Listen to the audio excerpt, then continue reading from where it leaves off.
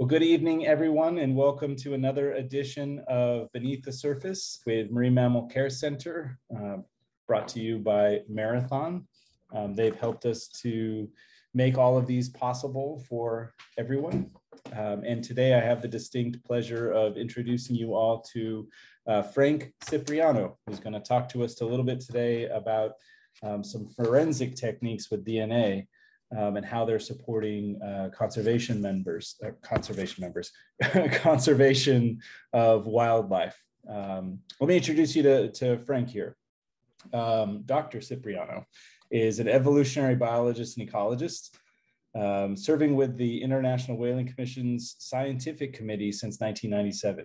In the 1990s, he developed and used portable DNA testing methods to identify commercial products containing endangered and threatened whale and dolphin species. Such field molecular biology approaches have since been valuable for identifying um, uh, beach cast whale car carcasses and discerning dolphin population diversity using field collection biopsy samples from remote locations in Argentina. Uh, Frank has been a field and laboratory course instructor, Earthwatch project leader, National Science Foundation, marine biotechnology postdoc, at the University of Hawaii and conservation genetics postdoc at Harvard University.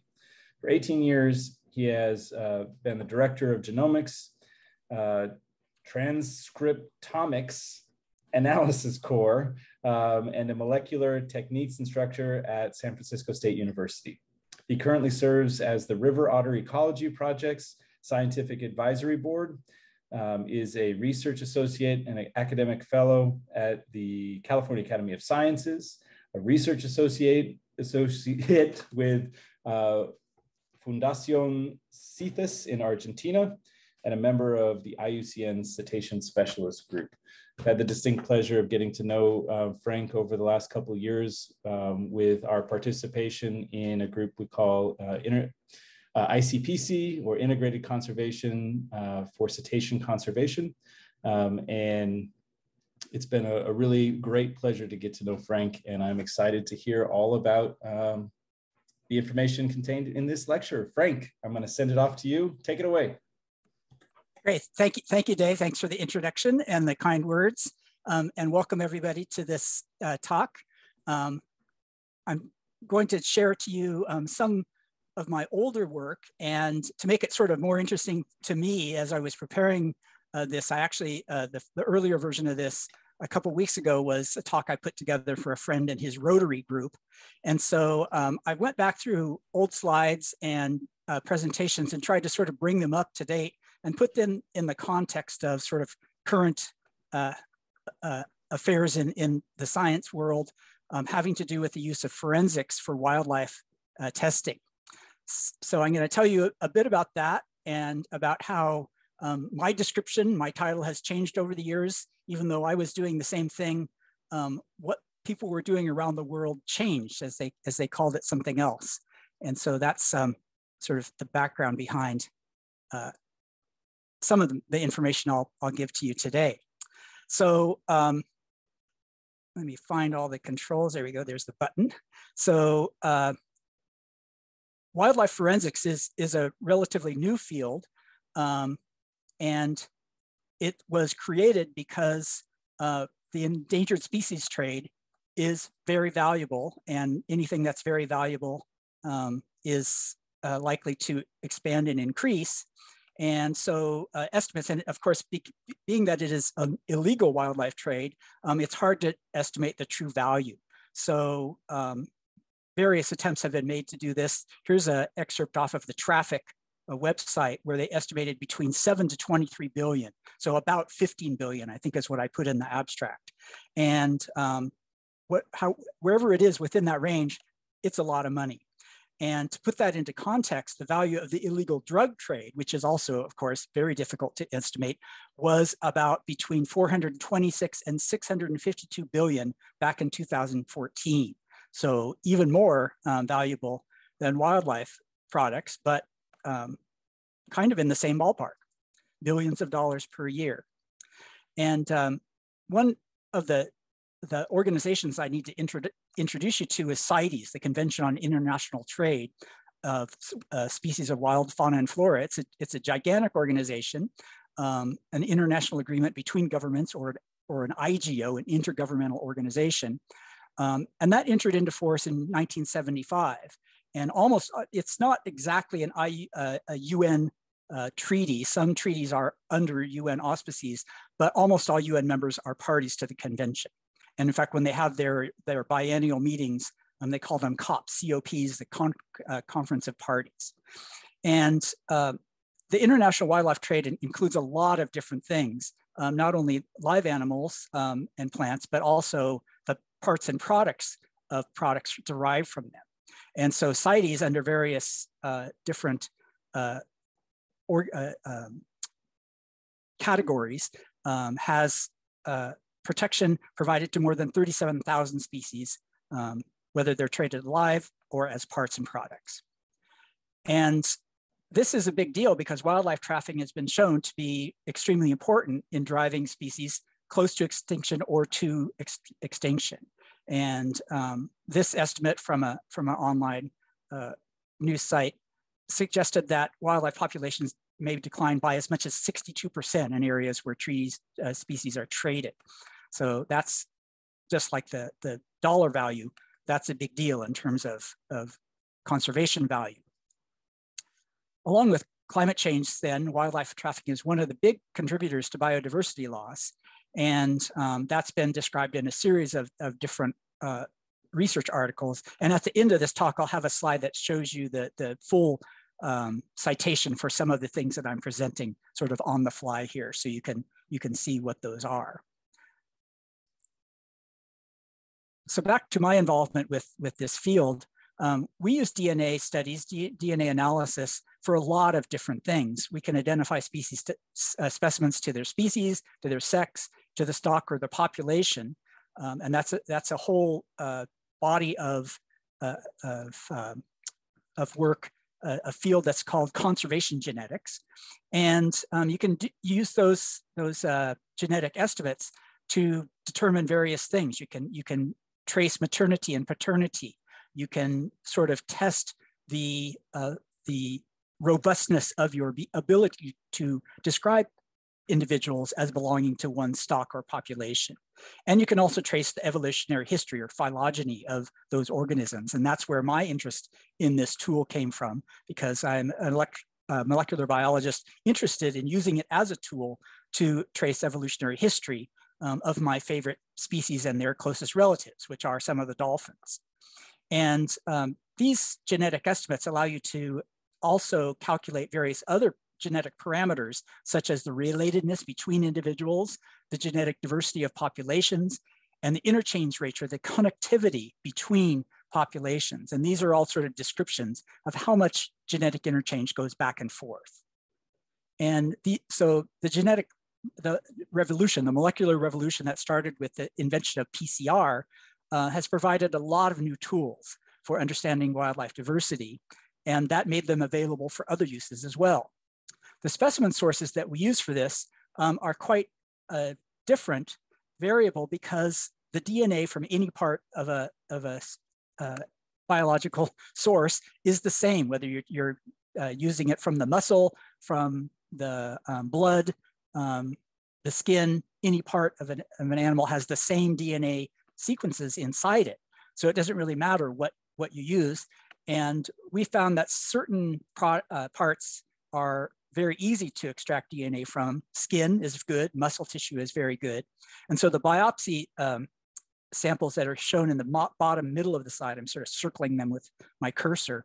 Um, those biopsy samples were derived from free swimming dolphins um, and um, they contain the thin outer layer of skin um, that is actually a rich source of DNA.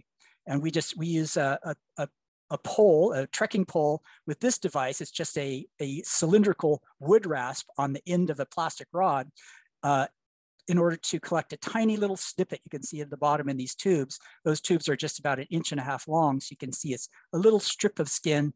Um, the black skin from these, these, these uh, Commerson's dolphins, that's what these samples are from. Um, and that's a source of abundant DNA for our, for our analysis. But you can also get it from uh, bone tissue. And here's a colleague in Argentina um, preparing to isolate some DNA from the bone, from a skull bone of a Commerson's dolphin. And you can also get it from commercially available products like this doggy, this uh, supermarket sample N1 in the lower right, um, which is a bit of whale blubber and skin at the top with meat below and conveniently packaged with a little bit of wasabi. So this, this field, DNA forensics, um, came about because people using those tools that I, I, just described that are useful for describing the population distinctiveness of, of animal uh, specimens or tracing uh, paternity or maternity, those same tools, those same DNA analysis uh, tools that use sequence analysis and some other kinds of, of DNA analysis, um, along with uh, conservation genetics and the need for, for documenting the trade in endangered species, endangered wildlife species, um, resulted in this new field called DNA forensics.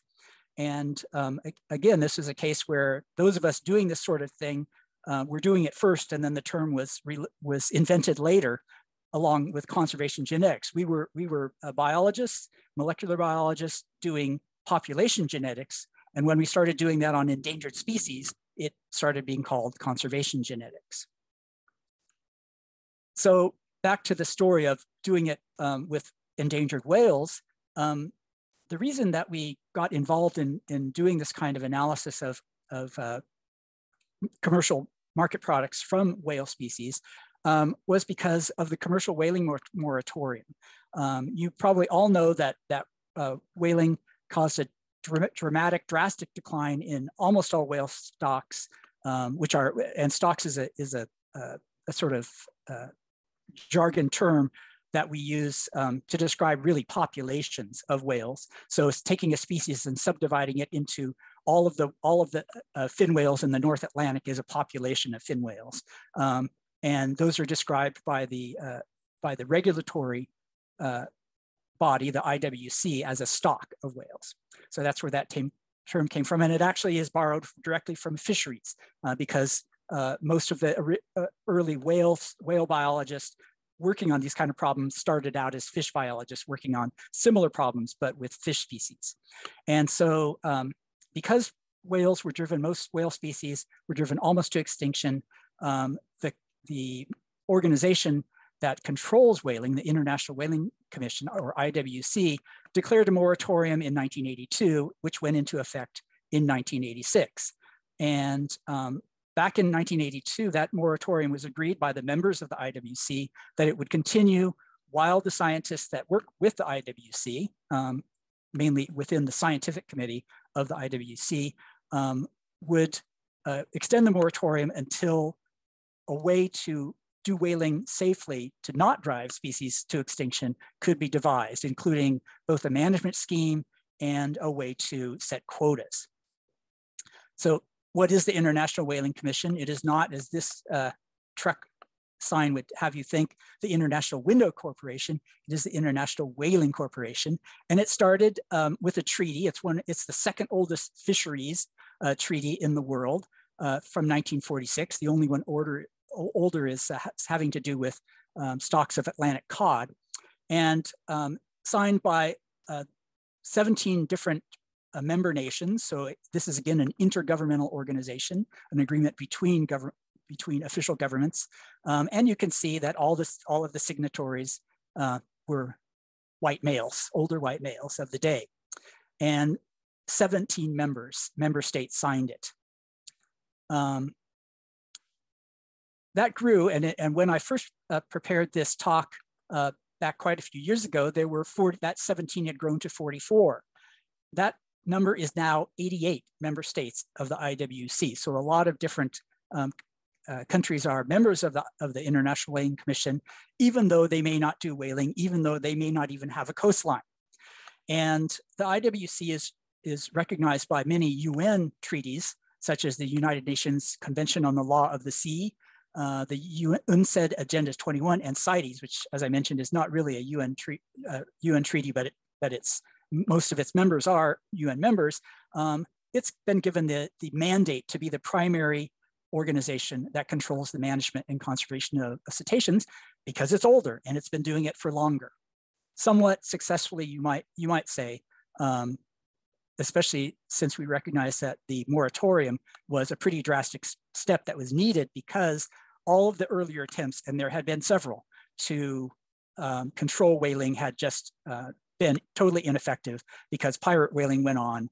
And even though there were regulations and, and quotas and, and uh, no, no uh, allowed take of certain species, it went on. And it, it went on to an amazing extent, which I, I don't have time to go into today, but uh, we're talking about hundreds of thousands, not, not just a few dozens of whales taken illegally. We're talking about hundreds of thousands of whales taken illegally after some of these regulations went in. So the IWC was an attempt to do that better.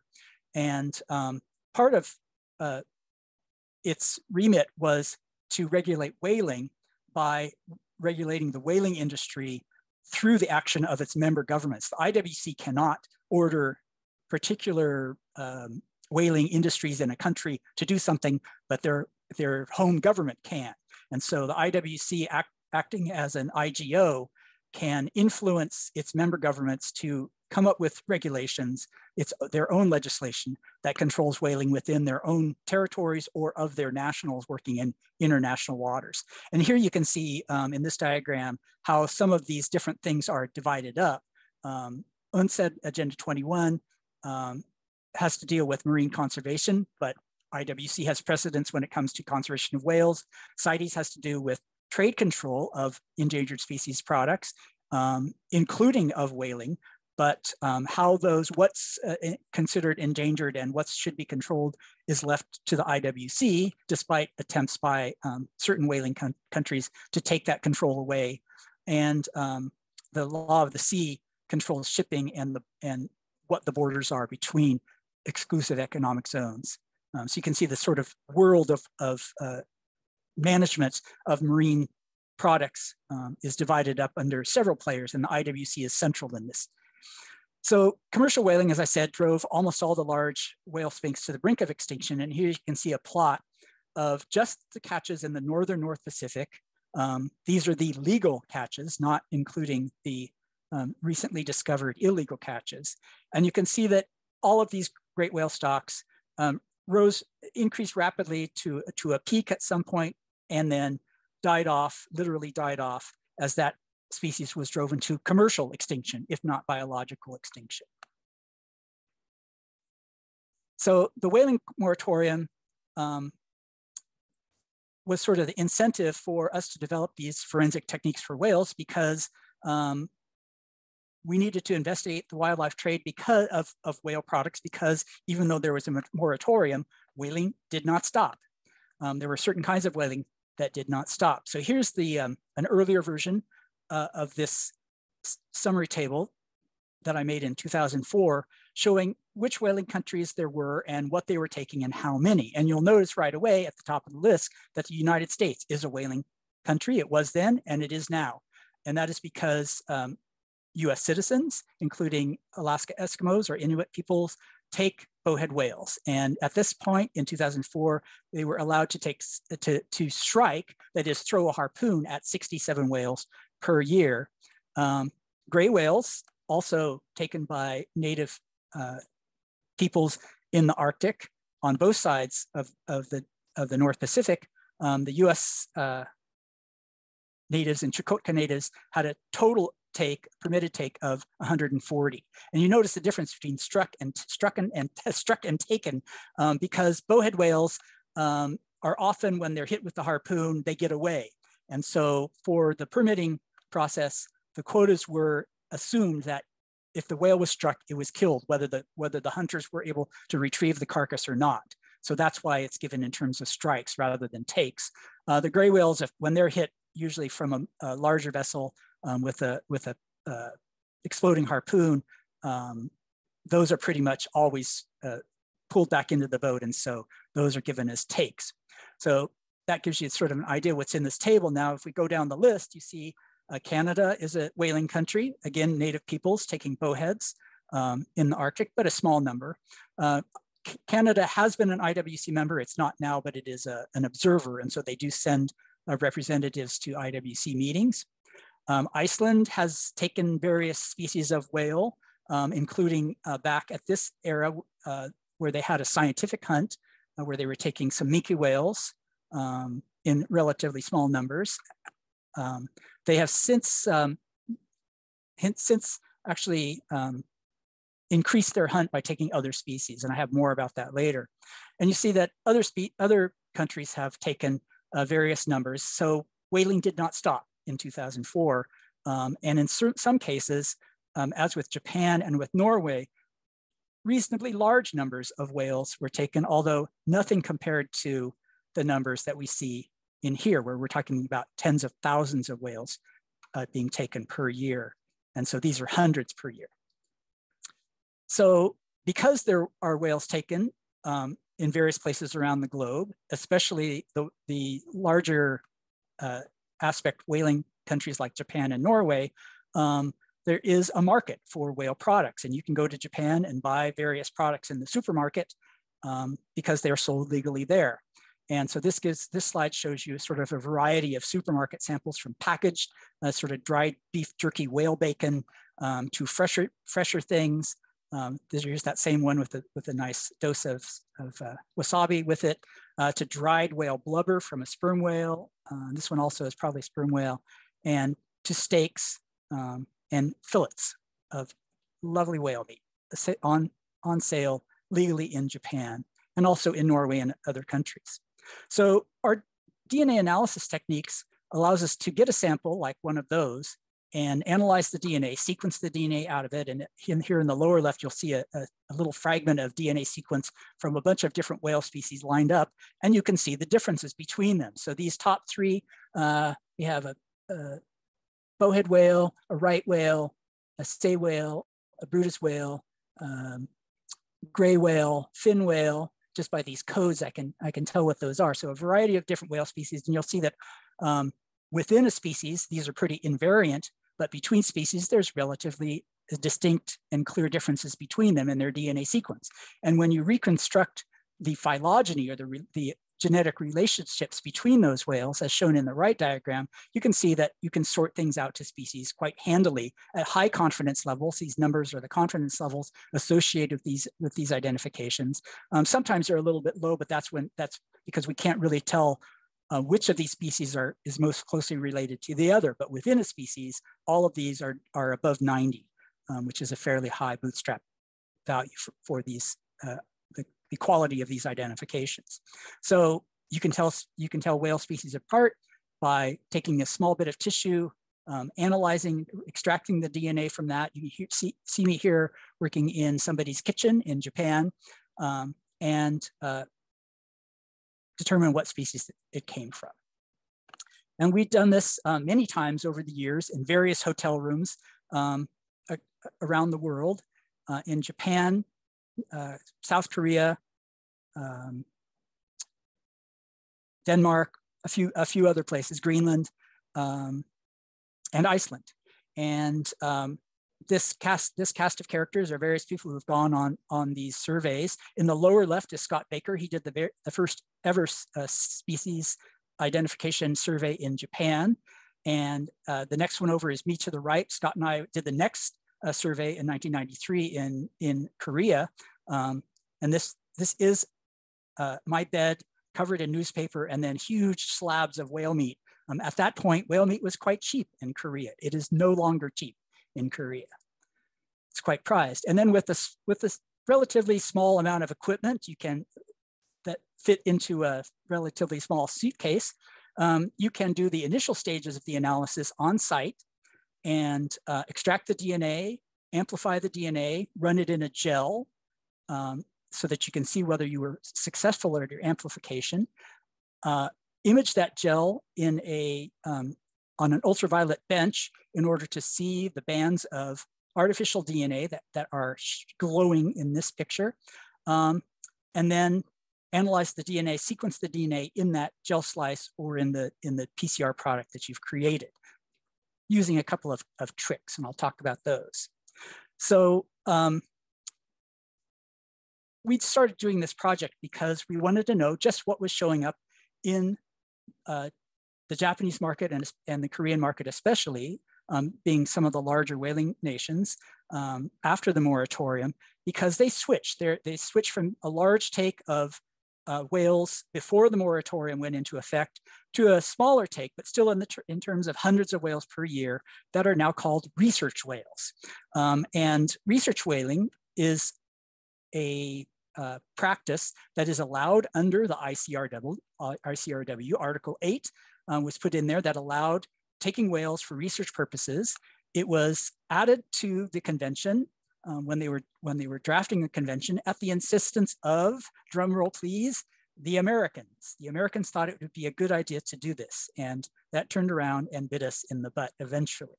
So research whaling under the under Article 8 um, does not require permission from anybody. The country can set its own quota and take as many research whales as it wants. And so that set the stage for um, whaling continuing after the moratorium and Japan being able to continue taking hundreds of whales per year um, completely legally without breaking any rules.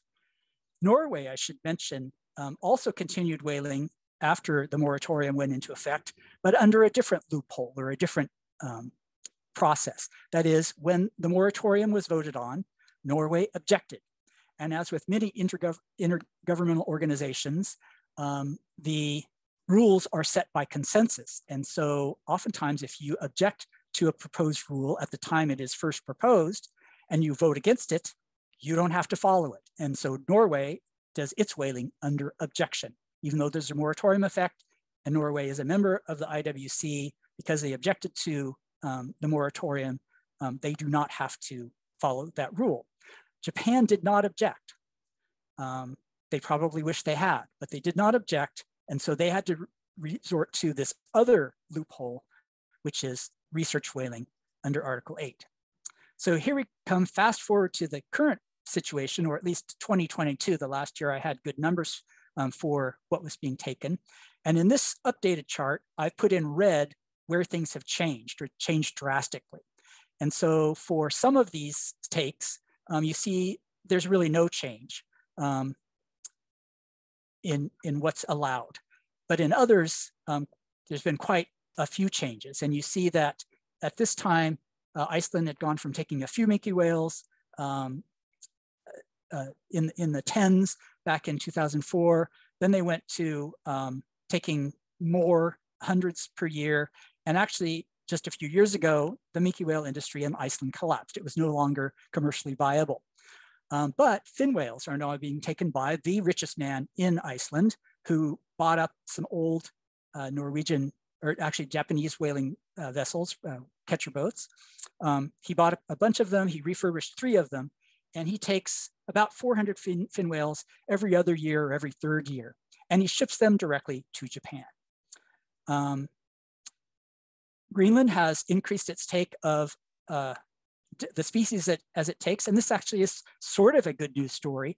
Um, Greenland is now allowed under the IWC quotas for Aboriginal subsistence whaling, which is not commercial whaling, to take bowhead whales and humpback whales because the bowhead whales and humpback whales in the Arctic have increased in numbers and are actually almost back to or back to their pre-exploitation uh, population numbers. So that's you know that's sort of a good, good news story that there's enough of them that they permit the native peoples in these areas to take a few, not very many per year, but a few um, to preserve their cultural heritage. The story with Japan is quite a checkered. Um, Japan actually left the IWC in 2019. Before that, they were taking hundreds of whales, mainly in the Antarctic, mainly Antarctic minke whales, uh, four or 500 per year.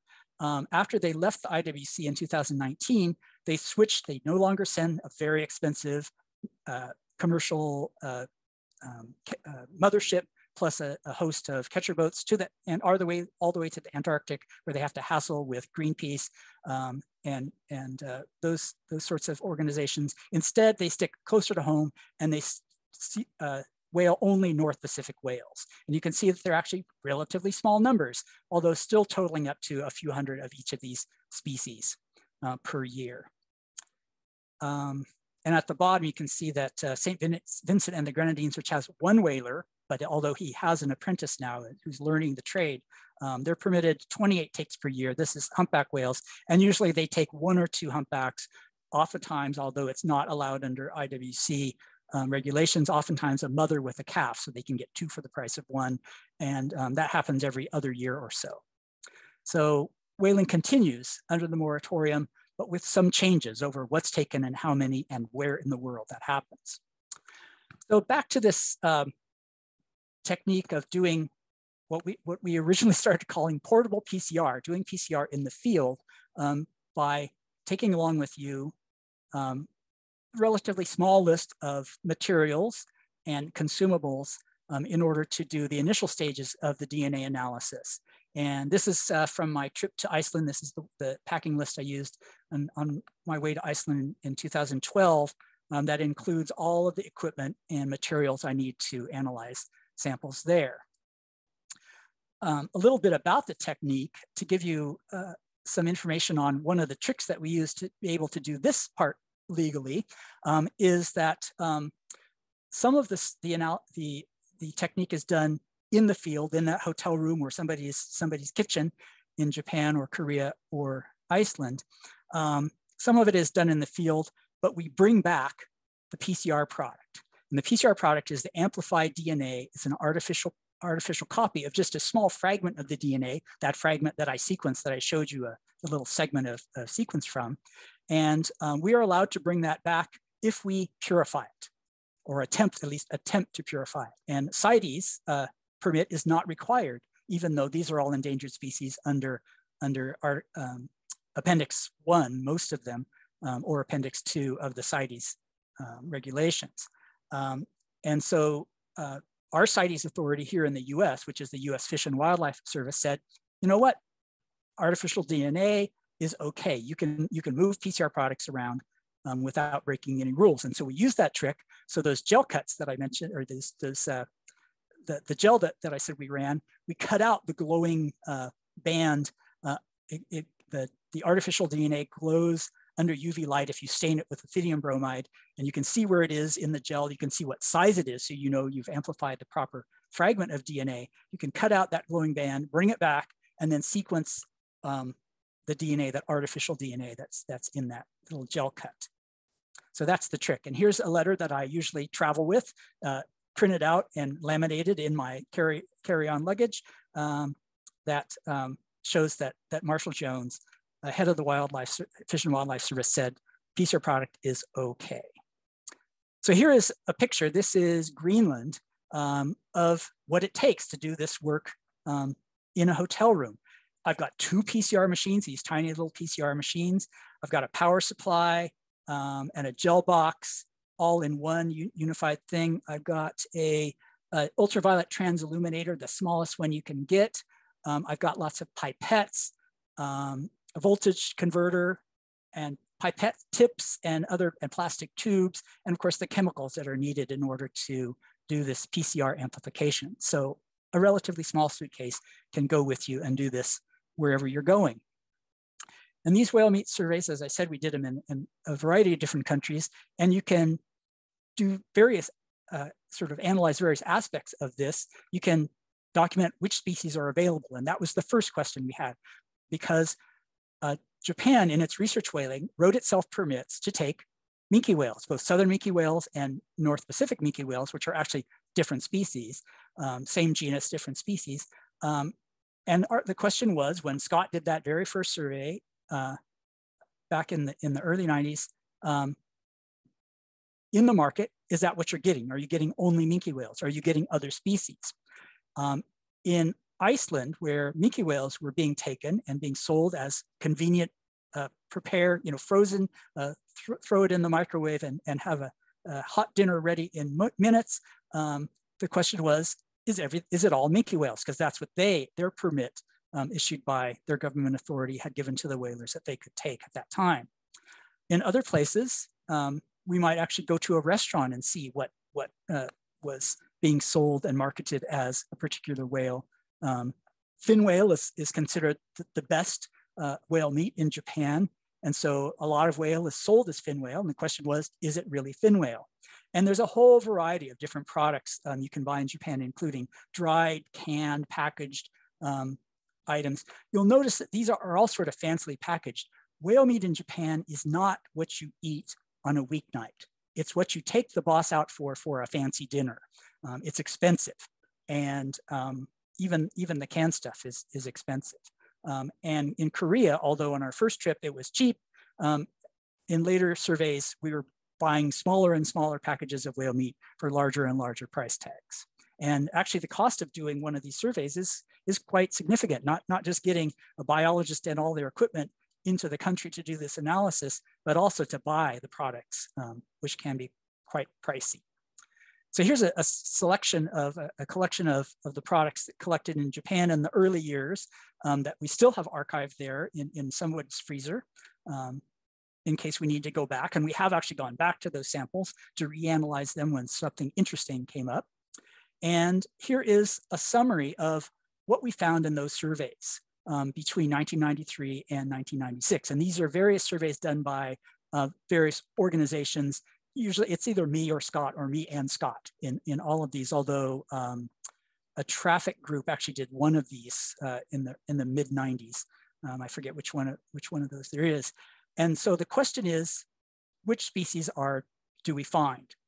And here, here on the left, you see the, the, the list of all of the great whale species, also some dolphins, some uh, toothed whales, and starting here with sperm whales and, and on down, and some things that are not dolphins at all, like artio, gen, generic artiodactyls, which are even-toed hoof mammals, and sheep and horse. So in terms of which species we were, we were finding in Japanese markets, it's easier to tell you which ones we did not find. It's a shorter list than the ones we did find, even though their commercial take of the research whales was only these two at the top. You see that those are the most, they're the largest numbers of all, but that's certainly not all that we were finding. So did, did we prove that they'd done something wrong? Well, not exactly. Um, the, the response would always be, well, it was in the freezer. And in the case of humpback whales, which we got a few times um, over this period, it would have had to have been in the freezer for 26 years for it still to be found, even in this first survey in 1993. But we had no way of proving it hadn't been in a freezer for 26 or more years. And the same is true of fin whales, although uh, at some point in here, uh, Iceland started exporting fin whale to, I think it was actually after 1999, started exporting fin whale meat back to Japan. And so there would have been essentially legal whale, fin, uh, legal fin whale meat on the market then. Another aspect of what you can study with uh, this, these whale meat, uh, whale products commercial whale products is what's in them, um, what contaminants are in them. And so in 1999, we did our first sort of coordinated analysis of what con contaminants were in the products that we purchased, sorted by species. And here I have divided up the species. Um, there, each, each one of these is, is a separate separate species, but I sort of lumped them into toothed whales or odontocetes. Those are the dolphins and porpoises, beaked whales, all of the, the teeth-bearing uh, uh, members of the cetacea, and then the mysticetes. And we did the two uh, largest uh, categories here are Northern Hemisphere and Southern Hemisphere. Um, so this includes the Northern Hemisphere minke whales, which was the most abundant in our samples, and the Southern Hemisphere minke whales, the Antarctic minke whales. Um, and then on this axis, you can see the different contaminants, sort of, sort of um, uh, this, the simple version, because most of these contaminants have various forms, different forms, all uh, many different types of PCBs um, that we have lumped together into total PCBs, or, or all the different types of DDTs that we've lumped together into total DDTs. Mercury actually has, has both a, a less active form and a, and a more active form, a more toxic form. Those are summed together here for total mercury. And so you can see that, especially for the odontocetes, um, there's a problem at this, this end for both PC, for, for both organic pollutants, PCBs, but especially mercury for all of the odontocetes in, in this sample. Um, the mysticetes, not so bad, but um, certain, uh, uh, certain components, the PCBs and DDTs, these fat-soluble organic uh, contaminants are found in high numbers in these large fatty animals that uh, feed not high at the top of the food chain uh, for, for the uh, baleen whales, the, the toothed whales are feeding at the top of the food chain, and that's why they're concentrating some of these other, these other components. So a problem uh, for the human consumers of whale meat in Japan. Another problem is, uh, as I sort of alluded to in the beginning, is these, uh, con these controlled but still legal markets for commercial, com commercial whaling under the guise of research whaling can drive certain species or stocks, populations of whales to extinction. And so this is a paper that we wrote looking at the decline, uh, projected decline in numbers of a particular type of, of uh, North Pacific minke whale, the J stock, a population found from the Sea of Japan. That's why it's called J stock. That's, and um, that's, that population is characterized in this pie chart as having a lot of red, a lot of yellow, and a little bit of blue, and orange. Those are the different haplotypes. Mitochondrial haplotypes are sort of different variants of the gene. Um, you can tell that it's a, a minke whale by the sequence, and you can tell um, by which particulars of the sequence what population it's from, or give a, give a sort of confidence limit on which population it's from. So that's the J stock from the Sea of Japan. And we had these, uh, these uh, samples available from the period of commercial whaling when they were archived and analyzed. And so we knew sort of, uh, we were able to ground truth what the J stock looked like genetically. And the O stock um, is the offshore stock. Um, and that is characterized by this blue pie chart, which is mainly blue with a little bit of red and a little bit of orange. Um, and in the market, um, this is what we got, this middle one. We had a lot of blue. Um, so that looks like big component is being taken from their uh, research whaling in the North Pacific. But some of these other colors are more like what you're finding in the Sea of Japan. So this was suggesting to us that a lot of J-stock whales were getting into um, Japan's whale product markets um, and probably through what is called bycatch or incidental catch, where whales are entangled in fishing gear um, and um, if they die, um, and, and after a certain period, Japan uh, uh, allowed the fishermen to kill the whale and incidentally tangled in their fishing gear and put it into the market to sell it commercially.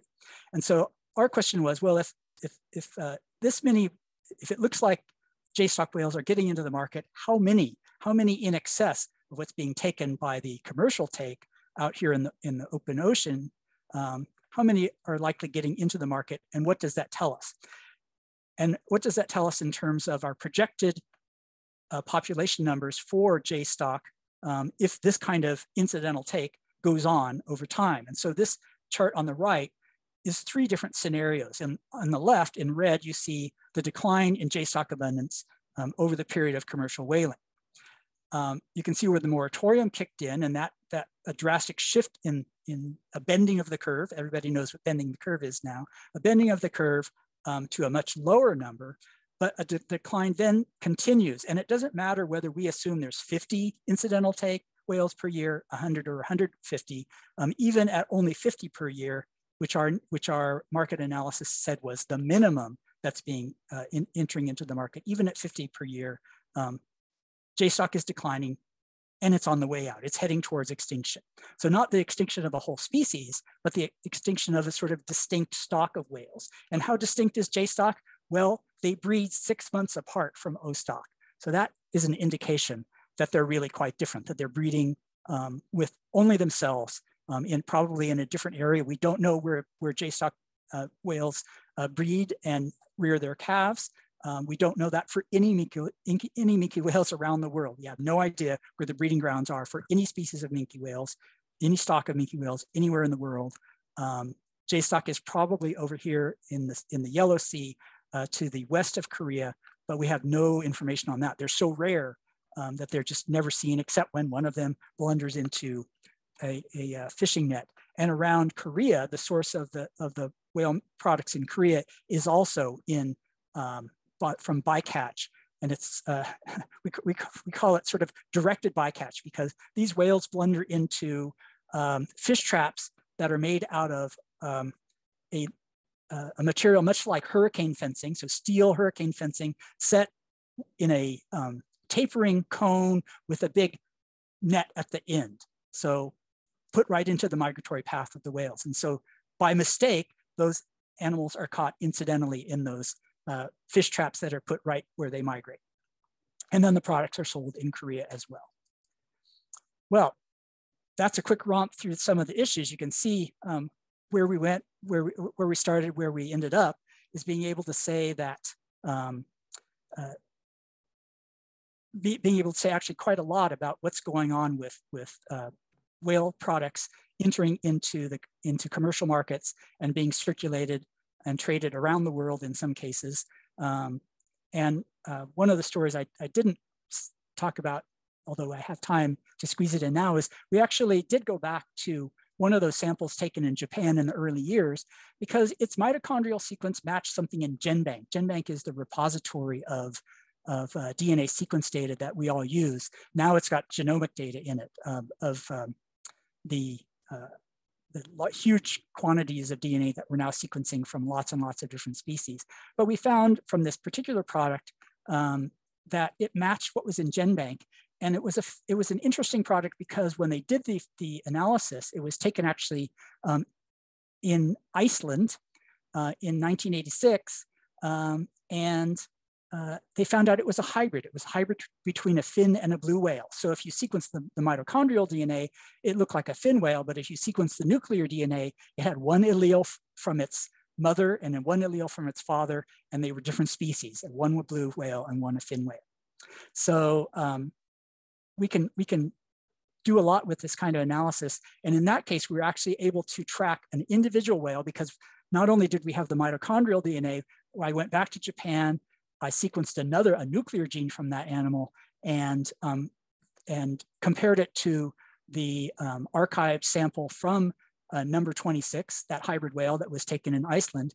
We were also able to trace the uh, export of that particular product or, or of fin whale products in Iceland in that year to Japan. So we know a lot of fin whale went to Japan. So it's not surprising that we were able to sort of trace the life of one particular whale um, from its conception the, the mating between a, a, fin whale and a blue whale to its consumption in Japan um, many decades later.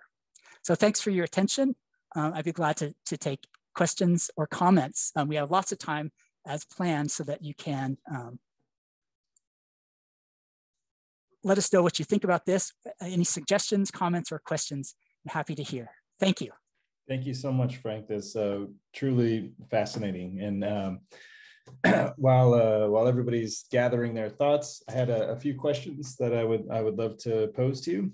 Um, uh, sort of earlier in your your lecture, you showed the the graph of of sort of the ramp up of of whaling, commercial whaling, um, really taking off in and around the late 40s through the 50s. Um, I think when we learn about whaling in schools, it's usually you know the Nantucket sleigh ride and and uh, you know old uh, you know, whaling is this thing that happened in the 1800s or something like that. Um, what, what's going on that it ramps up so so dramatically in the 50s? Yeah, that's that's a great question, Dave, because it's just it's sort of shocking uh, to think about it now. Uh, the, the era of commercial whaling, of factory ship whaling, which is what you're talking about, those those those decades, um, was not for meat. It was only for the blubber. It was only for the the oil that they could extract out of the blubber. So huge whaling fleets from the US as well as most of the other uh, industrialized countries of the Northern hemisphere. They were roaming the oceans and they were basically strip mining the sea of all the large whales. And they started with the biggest ones, the blue whales and fin whales. And as those got depleted, um, they took smaller and smaller species, um, leaving um, minke whales, which are one of the smallest and most abundant of the original stocks as the, the, the remaining few, um, which is why Japan was sort of concentrating on minke whales. There were enough of them in the Antarctic to support um, whaling um, in recent decades. So that era of commercial whaling, which was um, just hundreds of thousands of, of, animals, millions over the years, um, is what is what did the trick. And it was not for food, although uh, in some cases, uh, whaling has been used to supplement protein sources. Um, in Japan, after World War II, the occupying country encouraged development of the commercial whaling industry in Japan in order to feed the population, have another source of protein for the population. So that again was the Americans. Um, fascinating. Um, also, you, you showed a lot of images of you doing um, analysis of, of, of all of those meat products uh, in hotel rooms. Um, why weren't you in a lab? well, we, we started out doing it very undercover and, um, and we did not buy the products. We actually had people, Japanese people in Japan, Korean people in Korea, buy the products and accumulate them. And then one of us or a couple of us um, would show up and process them in a, in a quick, in three or four days, go through, extract the DNA, um, uh, amplify it, isolate the gel cuts and bring them back and then sequence them when, once we got home. Um, so it was all undercover. Um, it's not illegal, but we didn't want to let anyone know what we were doing um, because we could be could be, be harassed um, for, for doing something even though it was legal. And um, we also did not want to uh, penalize the, the vendors. We did not want to, to, to cause them any problems. It wasn't really their fault. Um, after the 1999 survey, when we started discovering how polluted um, those products were, there was a lot of interest, especially in Japan, and actually initially by the fishermen, the whalers themselves, especially the ones who were doing small scale uh, dolphin and porpoise fishing, because the worst of those products were the, was the offal, the livers, the, the internal organs that were not sold commercially. They were mainly eaten by the people who mm. caught them. And um, we hired because we couldn't, we didn't have a trick like this, like the CITES control for the PCR products for getting the products, the, the complete product out of the country um, would have required uh, CITES permits. So we had to instead pay for in in-country analysis of the pollutants. So we partnered with two Japanese researchers. Um, we didn't tell them what we were doing. We just asked them if, if they would be able to analyze um, some samples for us. We did about 100 samples in that 99 survey. It was very expensive um, in order to do that because actually, because the solvents that you use um, have to be ultra pure um, mm. in order to make sure that you're not contaminating the samples as you're trying to analyze them. So we hired a, a, a uh, an expert in the in the organic pollutants and another expert in the uh, the metal pollutants, uh, mercury, and had them do that analysis. And of course, they knew when they when they opened the package and saw what we were sending them, we were mailing uh, to them from around the country as we did our survey. Um, they saw what it was, um, and they got interested.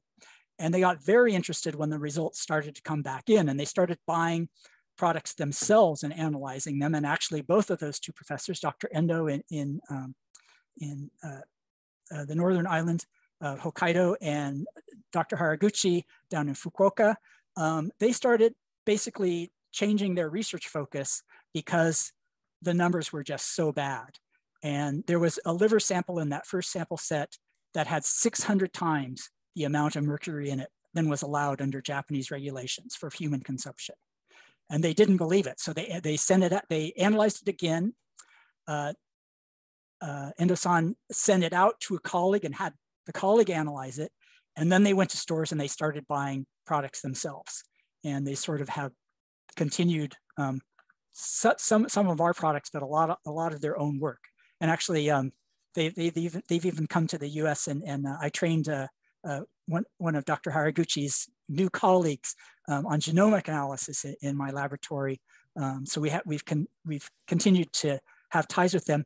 And so we did have labs to work in. And, and some of my last surveys in Japan, I would, I would actually go to uh, Dr. Haraguchi's lab in Fukuoka and do, do my work there. And in fact, the whole, my whole kit is still there. And, and his colleague, uh, Yukiko, I sort of bequeathed her my all of my DNA kit because she used it to um, diagnose do the initial stages of the analysis of the of the samples that she she then brought to the US that we could do the genomics on. That was actually not whales at all, it was mice. Um, but uh, another another story there. So um, we were doing it, the, the, short answer, we were doing it in order to, to be as secretive um, and as under the radar as possible um, so that we couldn't be harassed and also so that, so that the providers, the, the vendors wouldn't be um, wouldn't be under the thumb uh, for, for providing us with those things. None of it was donated. We bought all of those things. So we had people, undercover investigators go in and buy those things. Um, in, some, in some cases, that was actually me in Iceland and, and Greenland. I could go into the supermarket and buy whale meat. I was, there was a lot of other uh, haoles doing the same thing. So it, it, I didn't stick out so, so much. But in Japan, that would have been too obvious. So we didn't do it there. Uh, we had a question from the, the chat. Um, but where you find the highest concentrations of, of chemical pollutants um, uh, you've, you've mentioned it's within the different uh, organs, uh, organ meats, um, but are there different species that are more toxic than, than others? Yes, yes, indeed. And uh, well, it, it varies a bit by what species, what group, phylogenetic group of species. So the odontocetes, the toothed whales, which feed high in the food chain, um, I can I can tell you the statistics uh, for toothed whale products in Japan uh, from memory because 100% of those products had too much mercury. Hmm. And it didn't matter which tissue you're talking about. Um, liver was the worst, but um, even, even the red meat was, was very bad. And as I said, there was a lot of interest in Japan when we started making those numbers known by the fishermen themselves. Um, they were calling, they were calling up Endo and Haraguchi and, and you know, asking what, what can I do? Am, am I in trouble? Um, the Japanese government's um, response was to say, oh, just pour boiling water over it and everything will be fine. Which is not true. I'll, I'll give you a hint, it's not true. that doesn't fix the problem. I, am I'm imagining that it would not. Um, so uh, we had another question. I'm not sure if you would know um, any insight into the gray whale die-off in the Alaska Baja population uh, in the last few years.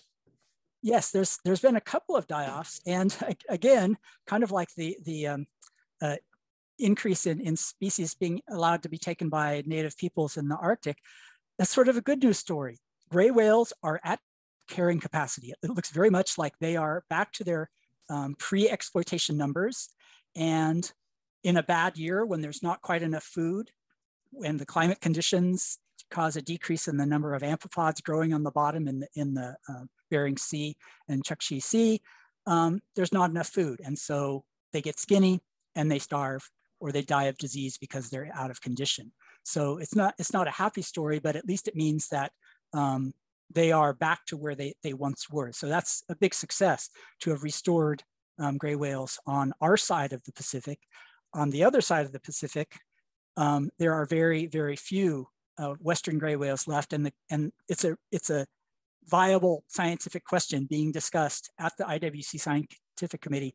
Are there any true Western gray whales left? There was a population that went swam up and down as, the, as our, our Eastern gray whales do on this side of the Pacific. There was a population there that swam up and down um, probably bred in the same area as those, those elusive minke whales in the, from the J stock, somewhere to the east of Korea, um, or sorry, to the, yeah, to the, no, to the west of Korea, west of the Korean Peninsula.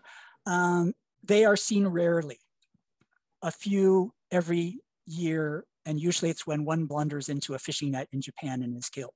Mm. So um, they've come back on our side of the ocean. They have not, gray whales have not come back on the western side of the North Pacific. Uh, thank you. We, we had another question, um, and you had alluded to um, the fact that you could work in a lab now in Japan and that there was interest from uh, Japanese fishers about the, the contaminants within um, the whale meat products. Um, to do this type of research in Japan uh, today, do you, do you still have to be as secretive? Um, yes, and, and we haven't, we actually haven't done surveys lately. Um, although with the change to the change in, in where they're doing their whaling operations now, um, we should, and we and Scott and I have actually talked about it, is, is we probably should do some surveys just to see um, and, to maybe to monitor the decline in the presence of Southern Hemisphere minke whale meat on the market, which should be, it should be, you know, they should be depleting the magic freezers um, at, at, about this point. Um, and uh, we should only see North Pacific species. They've increased the number of species they're taken. It's now not just minke whales, but Bryde's whales, which is the second biggest and most abundant uh, smaller baleen whale in that area. Um, um, so it would be a, it's a, it would be an interesting question to see like what's in the market now that, that, that things have changed. Oh, and, and actually, um, back to the, that pollutant question, sperm whales, which Japan did a little bit, a, a few takes of sperm whales when they were expanding their, um, their research whaling program in the North Pacific. Um, they were so toxic that basically they, they, they had to be treated as toxic waste. Oh. Uh, so sperm whales are just full of, of everything bad, both both organic pollutants and and and mercury. And it's it's interesting as as top level predators in the oceans, um, they seem to be doing okay, even so. And uh, the, there's lots of studies going on on the physiology of sperm whales to see how do they deal with these high pollutant loads. Um, they can handle it. We couldn't if we ate their mm. ate their meat. So so that that may be saving them uh, from future exploitation. Uh, just curiosity, you, you had mentioned that fin whale was sort of the, the premium uh, whale meat out there. When it's marketed in Japan and Korea, is it marketed by species or is it just marketed as, as whale? Uh, it, it depends. And actually that was one of the other research questions we had was how much misadvertising goes on um, is a lot of cheaper whale meat or, or uh, different species, less prized whale meat being sold as fin whale in Japan? Yes, it is. Is a lot of odontocete meat, that highly polluted 600 times the allowed limit of mercury kind of product, is that being sold as whale meat in Japan? Yes, it is. And in fact, uh, when those pollutant values and the misadvertising story um, started to come out after our 1999 survey, and we published a, a, a, slew of papers, and then Endo and Haraguchi have continued to do that. Um, there was a lot of consternation in Japan, and certain um, grocery chains stopped stopped selling whale meat um, for a few years. They're back. They're back to it now, but that definitely made them sit up and, and pay attention. And so we need to we need to come up with a new hook, another thing to get this back on the radar. Um, but um, one thing I, sh I should mention though is that the whale market in Japan is dying out naturally. The younger people are not that interested in eating it. And so um, it's still a luxury food. It's sort of a, a, a, a, um, a novelty food um, in Japan, but it's not being, being eaten regularly by most people, mainly older people, and um, under certain situations like taking the boss out for a fancy dinner, those kinds of things. Um, so the question is, is the whaling industry going to die out in Japan before JSTOC does. Hmm. Um, we have another question about the toxic have toxicity studies had an impact on the dolphin take of I don't know how to pronounce this Iki, Iki, Island. Island. Um, initially, yes. Initially, yes, and um, there was that initial reaction.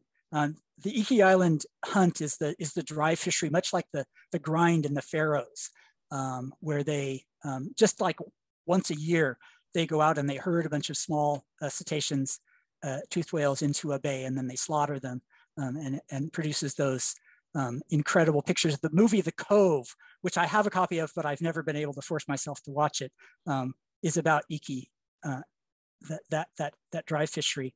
Um, yes, they should be concerned.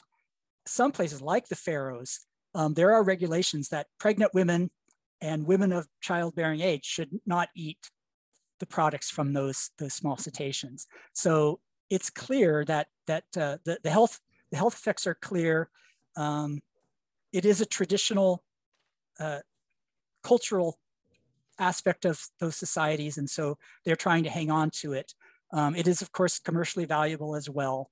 Um, but whether that will uh, continue in the future as the health effects become more um, more known, uh, we just don't know. Um, it's it, it's going on at a very low level in in, uh, in the Faroes still, um, and probably the younger people are much less likely to to to be involved in it. Well, uh, thank you, Frank. Um, everything that you've shared with us today is, are, is so fascinating. Um, the techniques that you were able to do, the, uh, the history lesson that we've gotten today as well has, has been uh, really fantastic. So I want to thank you for um, providing us with that. Uh, also to let everybody know that we have our next two scheduled um, lectures coming up, not in, for a, a, little while. We have um, uh, Andy Johnson, who's going to talk about uh, sea otters on uh, 428, um, and Jessica Fujii on 5.5 is also going to talk to us about sea otters. So we have a little sea otter mini series coming up um, at the end of next month.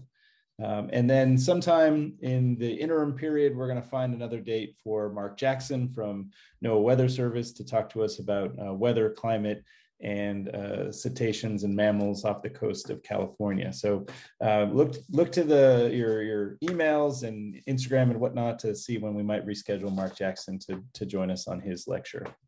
Uh, so thank you so much, uh, Frank, and thanks to everyone for joining us tonight. And I hope you have a wonderful weekend.